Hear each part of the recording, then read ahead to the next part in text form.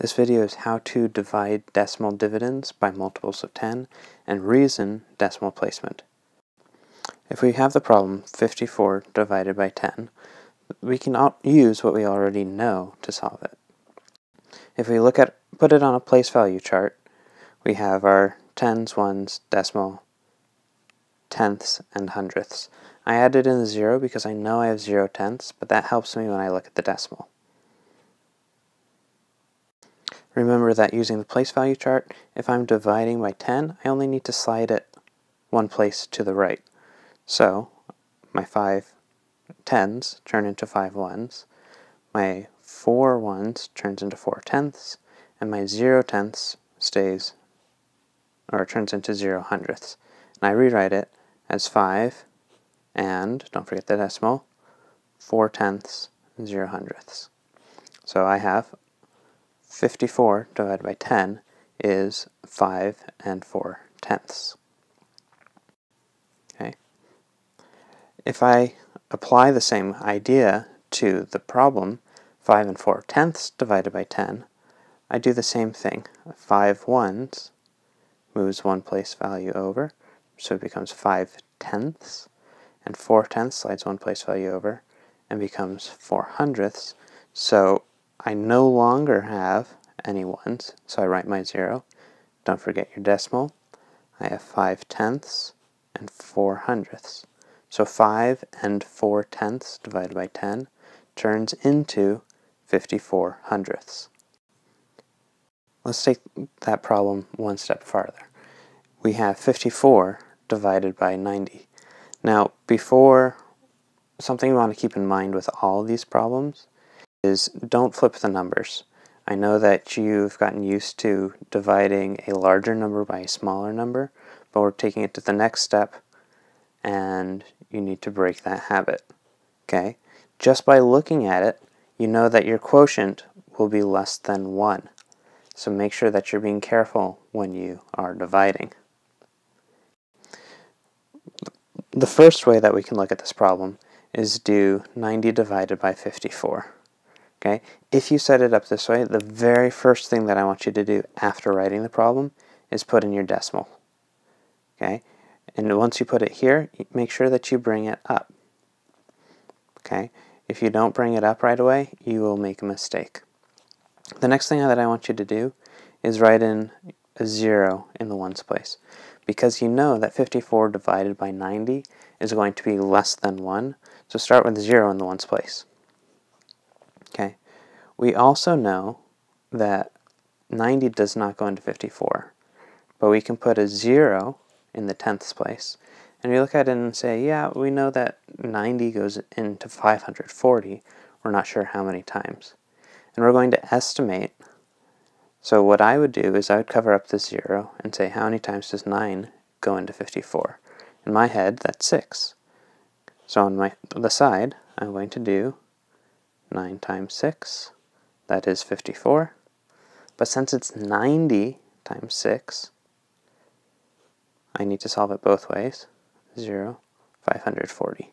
Okay, that works. So I'm going to write my 540 and subtract it, which is 0. So the number that moves up is my 6. Okay, and it is 6 tenths. Then I'm going to check my work.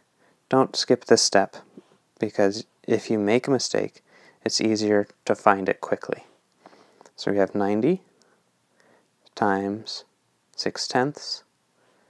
6 times 0 is 0. 6 times 9 is 54. So we have 540, but don't forget that decimal, and I'll put it in, and we do have 54. Now, there's another way that you can solve this problem, and it's breaking it down into smaller pieces. You can do 54 divided by 9 and then divided by 10 because we know, and hopefully you remember, that 90 is the same as 9 times 10. So we can use that here. Personally, I find the first one easier and what I would do is I would do 54 divided by 9 divided by 10, because I know that 54 divided by 9 is 6. And then 6 divided by 10, as I bring that down, 6 divided by 10, you use your place value chart, and you find that it is 6 tenths.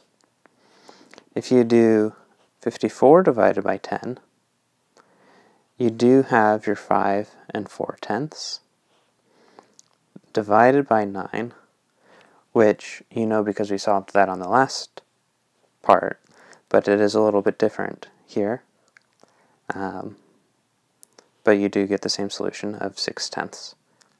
It's your choice to do it either way, whichever you find easier.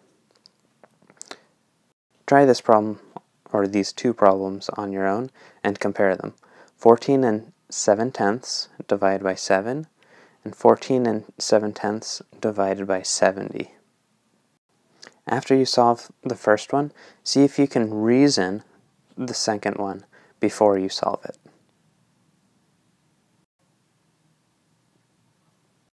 When I solve 14 and 7 tenths divided by 7, I find my quotient is 2 and 1 tenth. Again, make sure that you've included that decimal. I'm going to reason that 14 and 7 tenths divided by 70, I'm going to move the decimal one more place over because I know that 70 is a greater number than 7, so I'm dividing 14 and 7 tenths by a larger number. Okay, that's like saying that I have five cookies divided by five people. Each person gets one cookie.